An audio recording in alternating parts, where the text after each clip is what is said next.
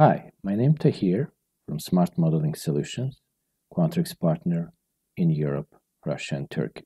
Today I'm going to show you how to create your first Quantrix model. First, you click on New Model here. In this left part you see your model browser and here your matrix. Each matrix has default dimensions here and here and we are going to create today our sales forecast. That's why we are renaming our matrix to sales. First default dimension we will rename by double clicking to products. And the second one to years. Let's now add our products. Apple. And then so that to add a second and third item I simply selecting the first item and pressing enter.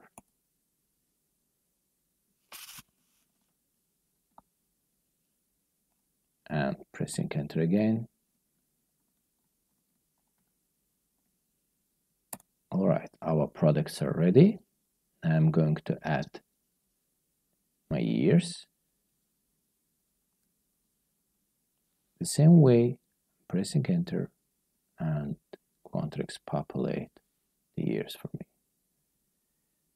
All right now I'm going to add some actual data to my product sales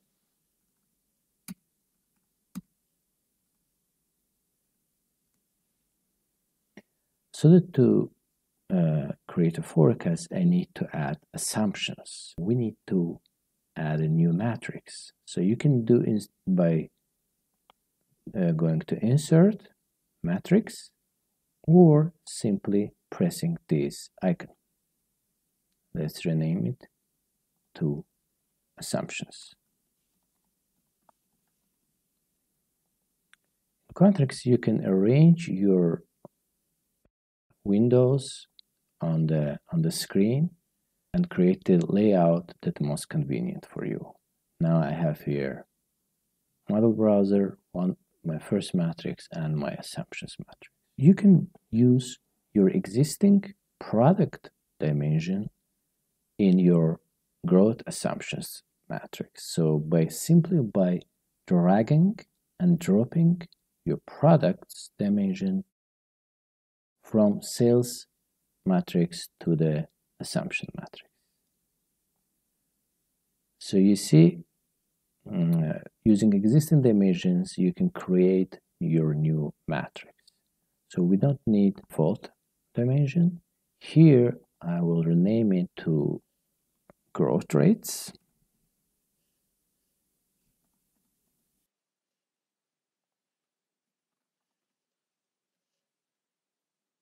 We need to add growth rate for each of our products.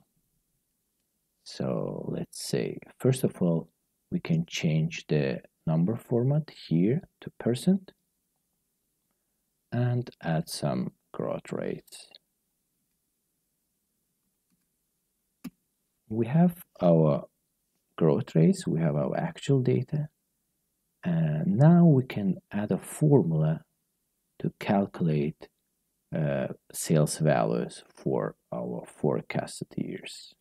So that to do that, we use here formulas area. Writing formulas in Quantrix is pretty straightforward because it's used natural language. So we say year, this, so you see here, equal, again, year, previous multiplied. Now you can uh, either click to the rate here or you can write it right in the formula editor. As soon as you write name the assumptions it will auto complete it for you. You see assumptions, and then rate.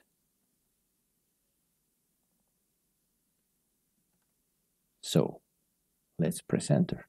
As you can see, our uh, forecast um, for, for coming years are created so we can change the number format. So our first formula is ready. So as you see here, we have two dimensions, products and years. But let's expand our model and actually move from 2D, in this case, to 5D. So let's create truly multidimensional model. Sell our product in other countries so that to add these, we need to add country dimensions. So adding dimensions is also pretty straightforward. You select one of the dimension and again press enter. And let's call it countries.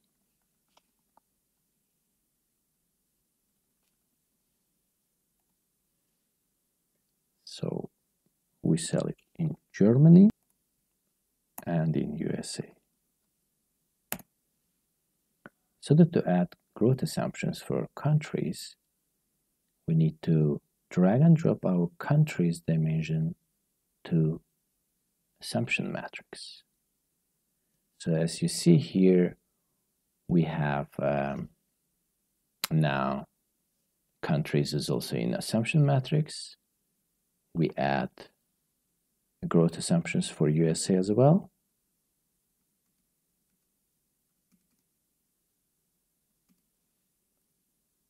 And also add some actual data.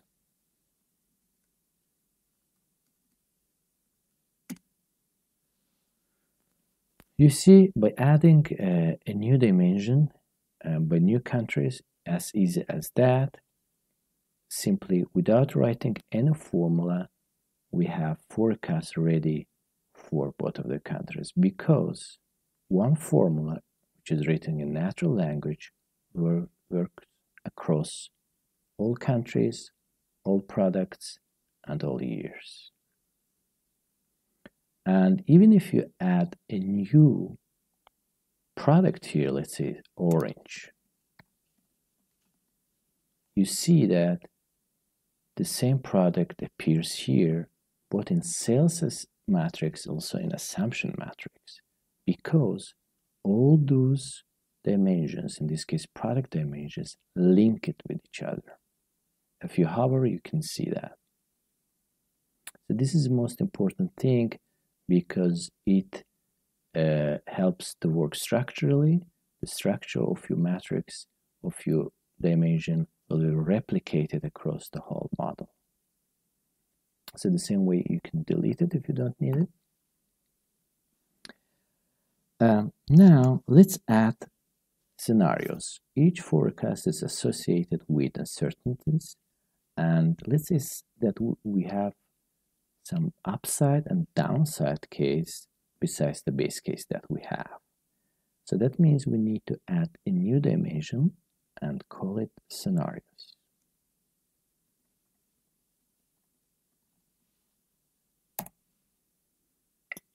This is our base case then again, press enter to add a new item, upside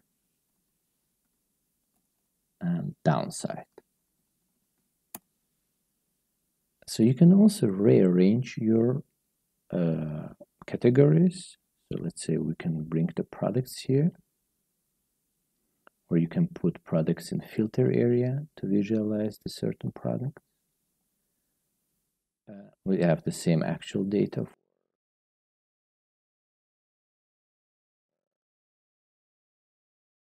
We have now scenarios, base upside and downside, and now we can add growth rate for each of these scenarios. So again, we're dragging and dropping the scenario dimension, and for upside, we're adding for growth rates for upside and downside case.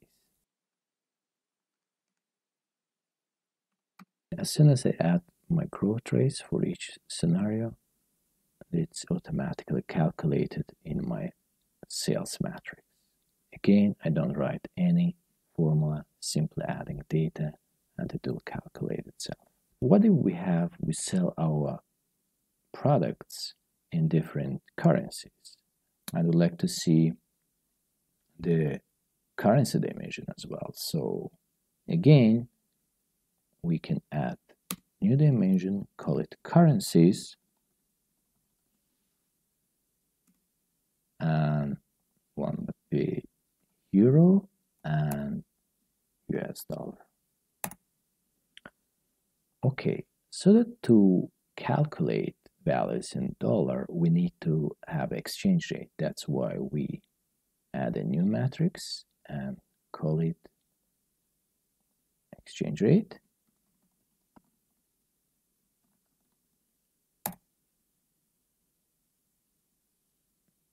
So again, I can create the layout so that I can see everything in one screen. So that will be X rates. And I need here exchange rates for all my years. So that's why I bring my years dimensions here.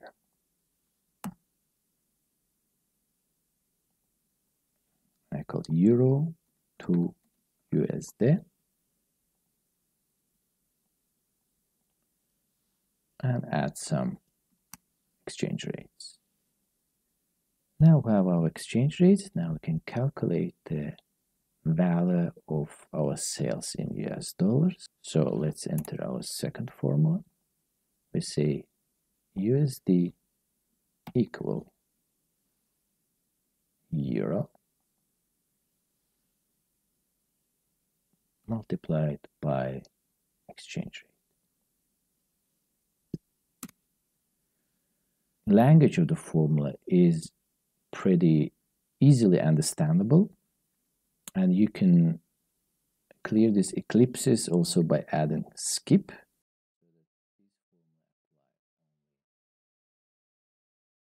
So we have our sales matrix with five dimensions already scenarios countries products years and currencies.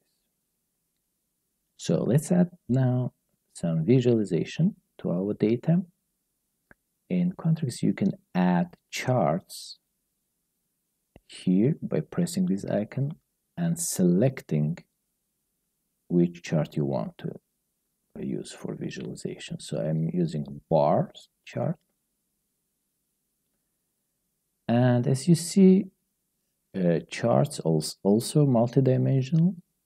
So you can rearrange these dimensions so that to achieve the visualization you're looking for. For instance, I would like to see my years here, products here, and currencies in the filter area, and scenarios also in the filter area. And probably I'd like to see the results for both countries simultaneously. I can go and add uh, chart labels here. Let's see, I can I like to see the values and I can change the number format. And now I see my sales forecast for both countries and for base case. So I can change it to upside case or downside case, or I can visualize in dollar or euro. You can also visualize that for certain product, press apple, carrots, or for certain year. So congratulations, we created our first Quantrix model. If you have any question, please feel free to contact us. Visit us on smartmodelingsolutions.com. We have a lot of information here feel free to contact us at info at smartmodelingsolutions.com and uh, if you like to have a free trial of the Quantrix, please request here a free trial. Thank you for your time. I wish you good luck with your future models. Happy modeling with Quantrix.